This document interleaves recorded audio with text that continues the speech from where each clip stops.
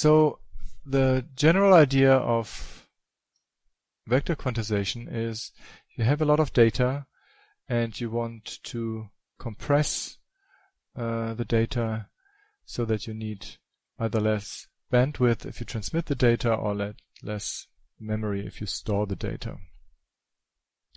And you do that by representing the vectors by reference vectors. So let's assume we have a coordinate system and we have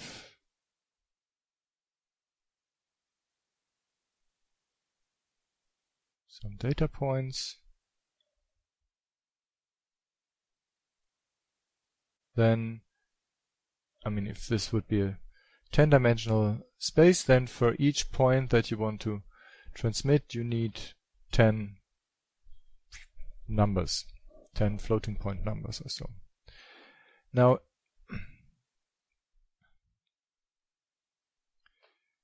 if we assume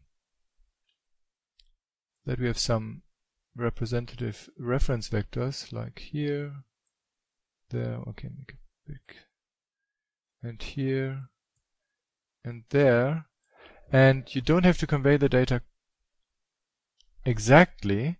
So then for every data point that is in this area, you could simply send the index of this reference vector. You have to transmit the reference vectors themselves, of course, that would be 4 times 10 numbers in this case. But from then on, you just have to tell which reference vector is closest uh, to the data point, um, and that way you could convey the data. So that would then be just 2 bits rather than 10 floating point numbers.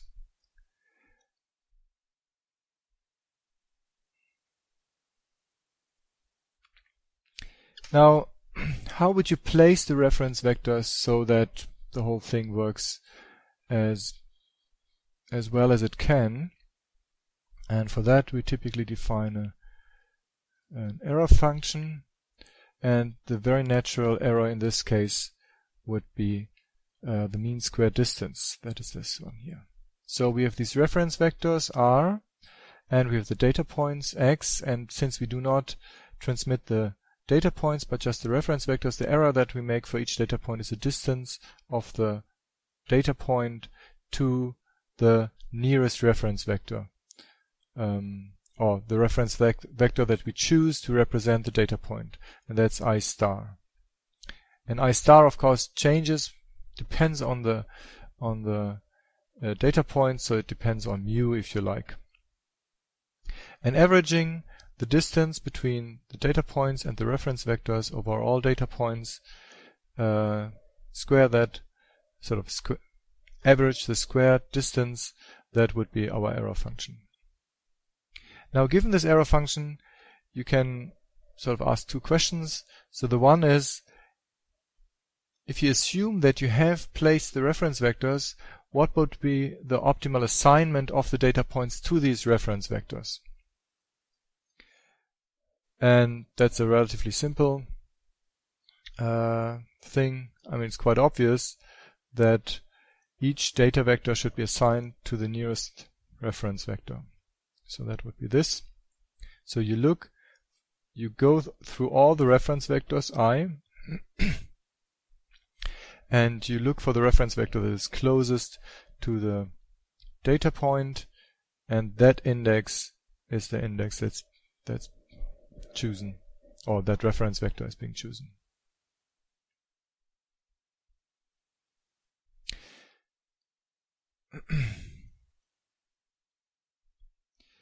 this naturally leads to the concept of Voronoi tessellation.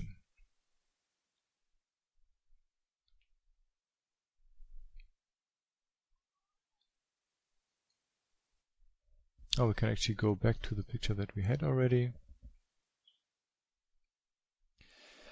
Um, so in this picture you can sort of to do two things.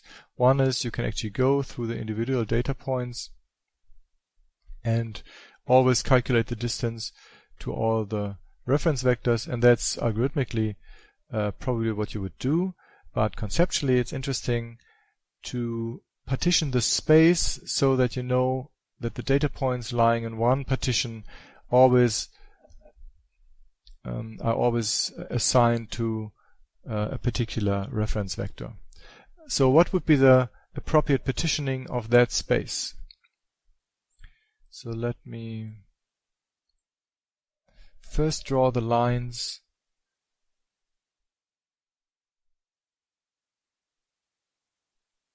lines between the reference vectors. That would be this one, for instance. This one. This one. This one. And this one. Something like that. Now, if you consider just one of these lines, for instance, if you consider this line here, and if you pretend only these two reference vectors, oh maybe we actually remove the line so that's not so cluttered here our drawing. Um, so if we if we assume for the moment that we only have these two reference vectors, so how would the border between these two reference vectors or border look that splits the that separates the data points that are assigned to that reference vector and those um, assigned to that reference vector. And that's quite obvious. I mean, we have the connecting line, and if you take the mid section here,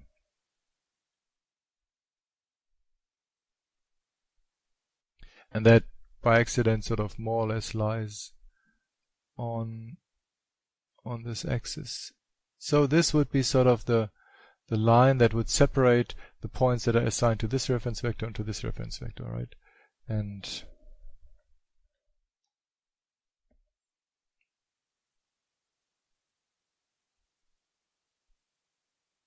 this obviously would be um, 90 degree angle and it would sit right in the middle between the two points. Yeah, so this is how you would construct the separation for two reference vectors. Now if you have several reference vectors like in our example, you simply repeat the process and now I'm going back to my lines. Oops.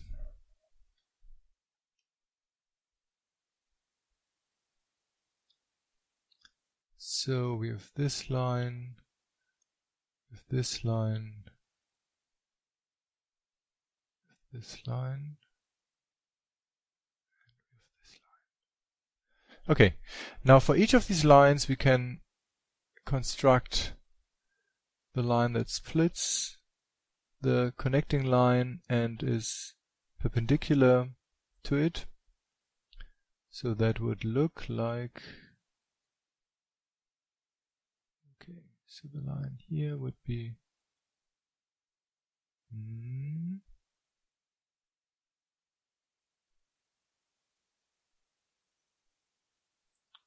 maybe well no that's not.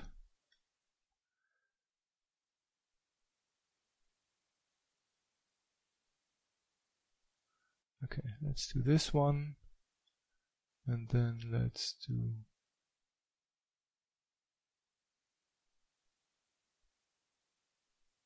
this one and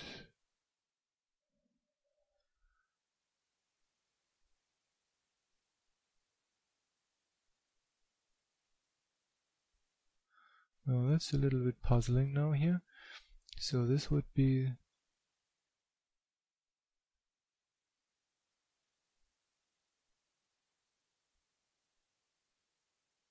Yeah. And we exactly we have a line here.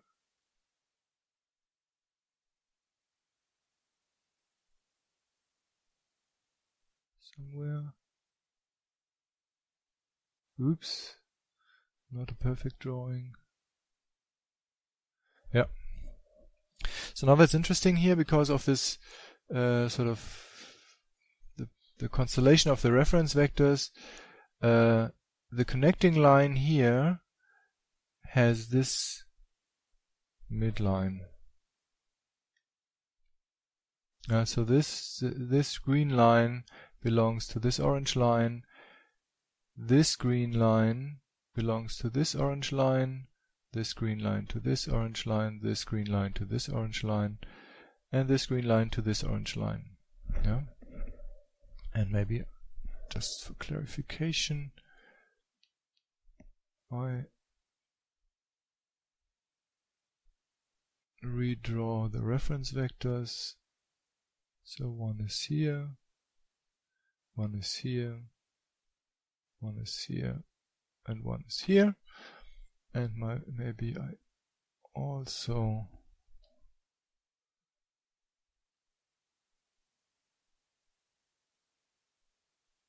redraw this line. So, okay, good.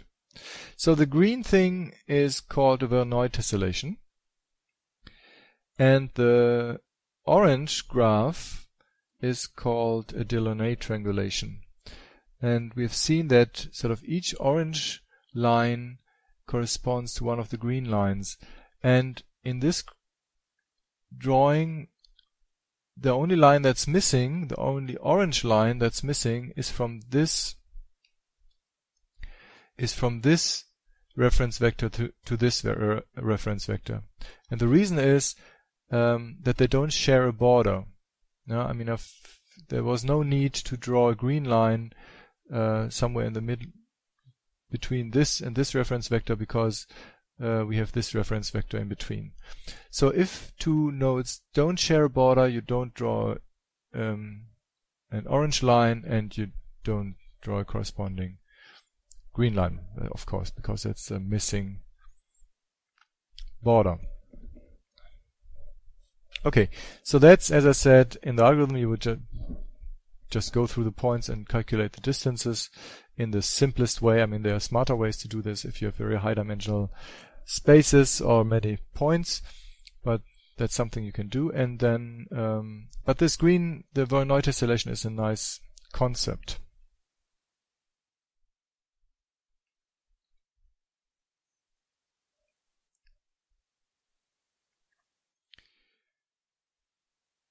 Okay, so this is how you could formalize Voronoi, a Voronoi uh, tessellation. So that is um, all the points that would be assigned to a particular reference vector. Yeah? So all the points x for which this equation would be true.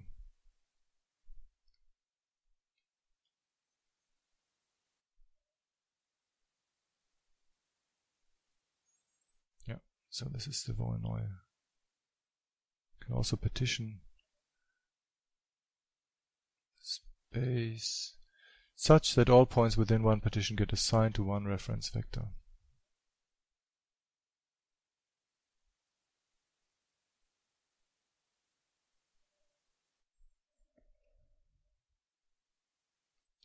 Okay, and we've also already talked about the Delaunay, Delaunay triangulation.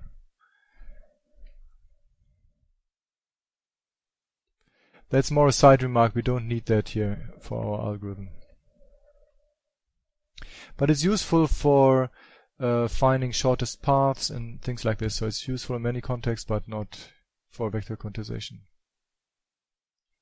Okay, so this was the one question. How would you assign the data points to the reference vectors? Now the other question is, how do you position the reference vectors if an assignment is given? Um, so if an assignment is given, we can consider each reference vector independent uh, of the others and look at the error that for that particular reference vector, and that would be this term, where we have one fixed reference vector and we sum over uh, the squared distance for those data points that are assigned to that reference vector. And that's expressed here by this set m of i and m sub i. Um, now, how would you figure that out? Uh, well, uh, if you have a function that depends, so in this case, this function depends on R, on the co components of R. Uh, if you have something like this and you want to find the optimum, typically you set the derivatives to zero and then you solve the equation. That's what's what's being done down here. So we calculate the gradient of the error function with respect to the components of R. Um, that would be this thing here. And then we rearrange the things a little bit because R does not depend on the data points. You can take this out of the averaging process. We swap the two positions to get rid of the sign. And then we have simply this. So 2 times R minus the average of X should be 0. Now, and that means R should actually be the average position of X. And that's simply the center of gravity. Yeah. So the optimal reference vectors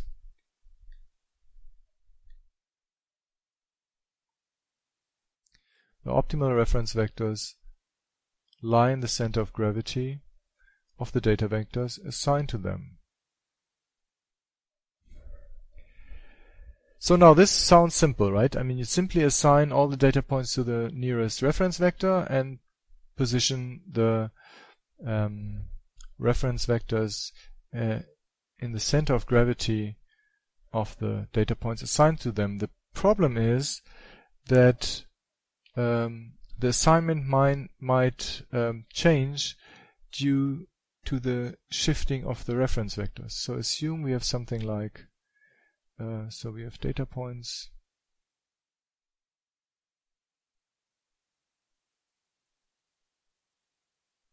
lying like this and we have one reference vector here, one reference vector there.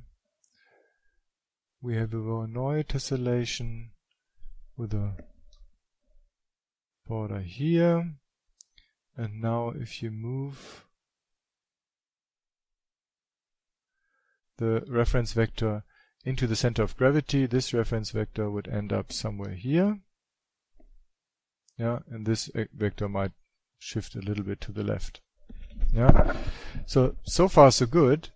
Uh, but the problem now is that if we now do a reassignment, or that after this shift, the assignment of the data points to the reference vectors is not optimal anymore.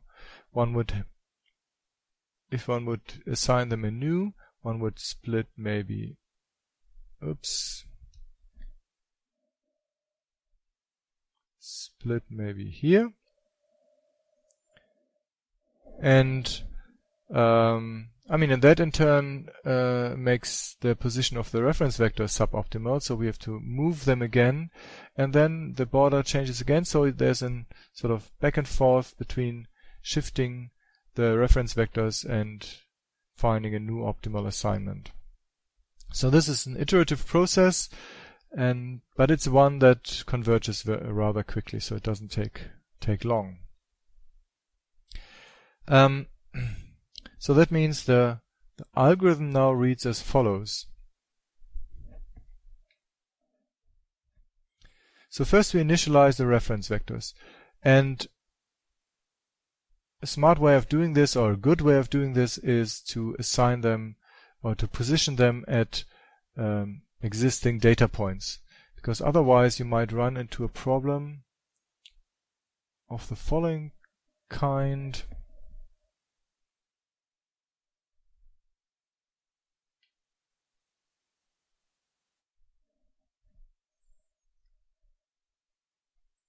So again, uh, we have a number of reference vectors and no, sorry, data points and if you would somehow arbitrarily initialize your reference vectors, one might end up here and the other one might end up here. And if you now look at the Voronoi tessellation, it's quite obvious uh,